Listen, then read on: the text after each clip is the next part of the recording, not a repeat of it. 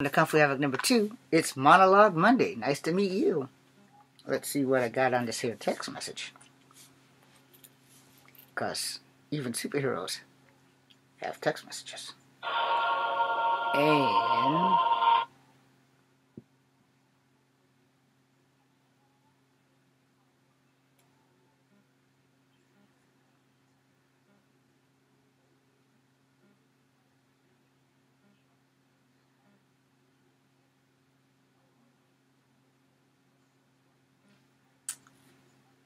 yeah, gonna have to get back with you on that. Alright.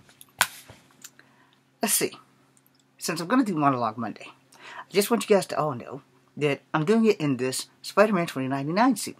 So that way, when I'm doing these improvs and things, you understand the theme. The theme is I'm gonna be Spider-Man 2099. So I'm gonna do some insults and some quick quips and things that I would probably say to the actual Punisher and the Juggernaut and Wolverine, who's not in 2099. But uh, for all the characters that are in the normal 616, I will be judging them versus the characters from 2099. Since I only read a couple other 2099 titles. And generally when I say I read them, I just checked out like the first origin book only, with the exception of Spider-Man and X-Men.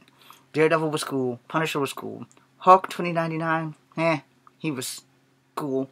I'm only saying that because he's probably right behind me. And since O'Hara doesn't have any spider senses, I thought I'd probably bring that up. Anyway, that being said, get ready for Monologue Monday. Thanks for watching. Kung Fu Havok number two. Be seeing you.